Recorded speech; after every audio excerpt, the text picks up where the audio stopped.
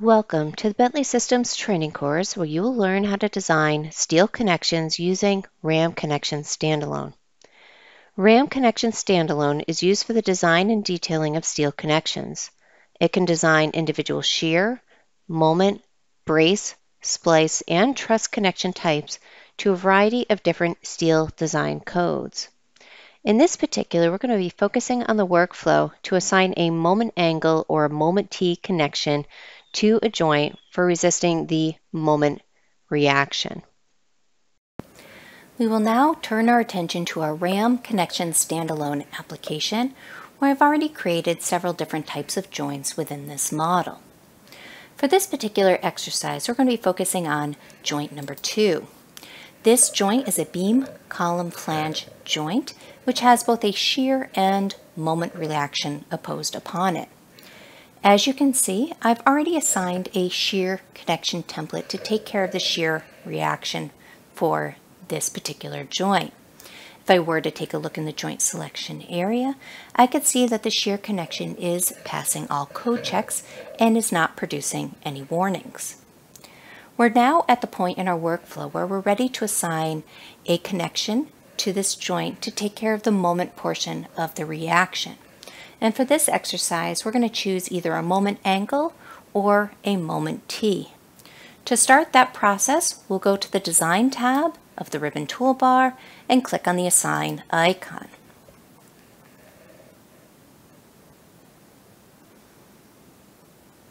When we get to the connection assignment dialog, we're going to notice that the filter is already set up for a beam column flange joint since that's the joint that is currently selected.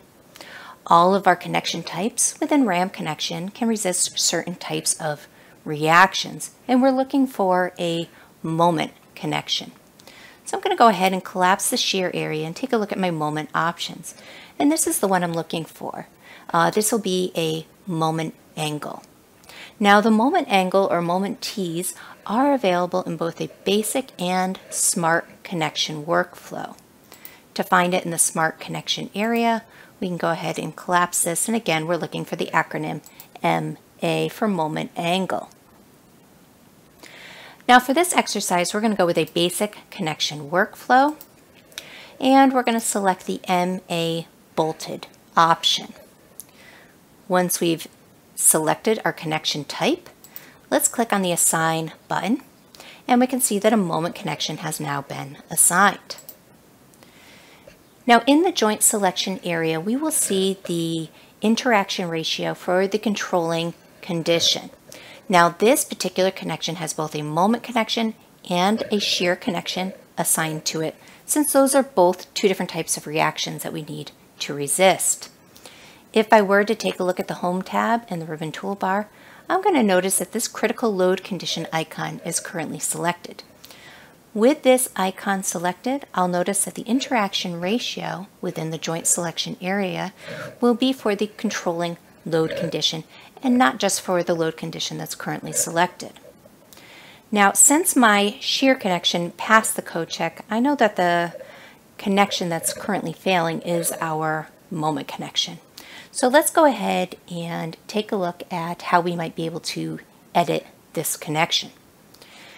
To do that, I'm going to select the Design tab and the ribbon toolbar and click on the Edit icon. Since both a shear and a moment connection are assigned to the currently selected joint, I can edit each one of them independently.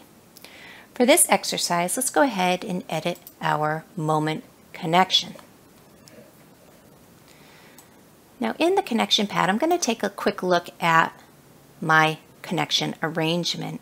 And already I can see that this connection that was currently selected is not quite appropriate for the geometry that I have. Here I can see that my angle is a bit wide and my bolts are actually not falling along this beam. I'm guessing that that is why my connection is currently failing. And if I wanted to confirm that or any other information, I can click on the results icon to view the connection report. Here I can see that the resulting tension capacity due to prying action is what's failing. So let's go ahead and close out of the connection report and let's take a look at some of the parameters for this particular connection. Here you can see that I can adjust any of the angles or flange T information within the connection pad. This includes changing from a bolted or welded connection or changing from an angle to a T. In addition to that, I can add transverse stiffeners or column web panel zone stiffeners.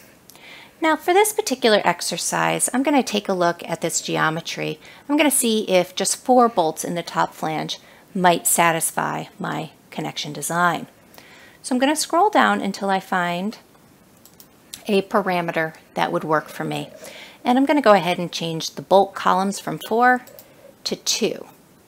Now, as you can see, that went ahead and adjusted my connection. My geometry is looking a little bit better, but I'm still failing the code check. So what I'm going to do next is I'm going to go ahead and take a look at my angle section. I'm hoping that maybe if I change the thickness of my angle, that might get me to a passing connection design. So here, instead of an 8 by 4 by 3 quarter, I'm going to go with an 8 by 4 by 1. I'm going to select the angle from the United States database, and then we'll go ahead and click OK. Now, as I take a look in the ribbon toolbar on the connection pad, I can see that my interaction ratio is now less than 1.0, meaning it did pass the code check, and I can see that it's in green, meaning no errors or warnings were issued. Now that I've achieved a connect now that I've achieved a passing connection design, let's go ahead and click on the Save icon to save these changes to the currently selected joint.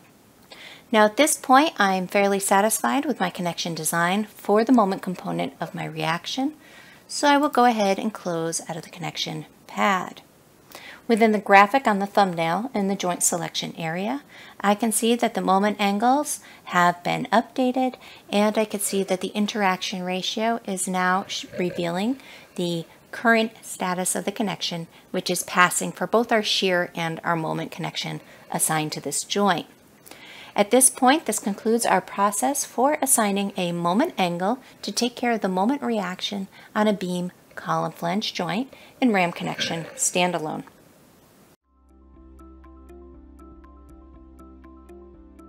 If you found this video helpful, please give it a like. If you want to see more such series, consider subscribing to our channel.